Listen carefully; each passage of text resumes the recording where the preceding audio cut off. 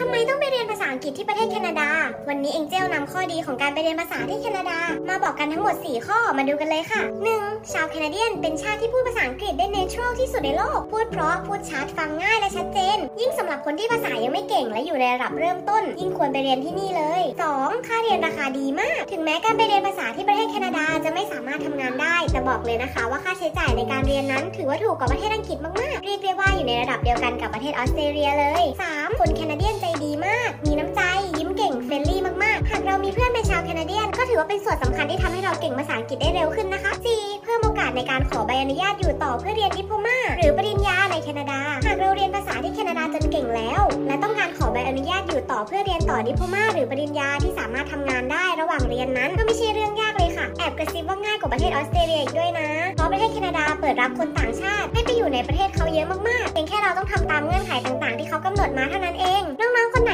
โปรแกรมนี้จะต้องมีอายุตั้งแต่ 16 ปีขึ้นไป และควรลงเรียนอย่างน้อย 2 เดือนขึ้นไปนะคะ เพราะว่าค่าตั๋วเครื่องบินไปกลับแคนาดานั้นแพงมากๆ ดังนั้นการไปเรียนเพียงเดือนเดียวเนี่ยไม่คุ้มค่าตั๋วเลยค่ะ ที่สำคัญการขอวีซ่าแคนาดา ก็จะใช้เวลาค่อนข้างนานเอ็งเจลจึงแนะนำว่าควรไปเรียนหลาย ๆ เดือน นอกจากจะเก่งขึ้นแล้วยิ่งเรียนหลายเดือนค่าเรียนต่อเดือนก็จะยิ่งถูกลงด้วยนะคะสนใจไปเรียนภาษาอังกฤษที่ประเทศแคนาดาจิ้มลิงก์ไลน์หน้าโปรไฟล์หรือ ID Line Angel Explorer มาได้เลยนะคะ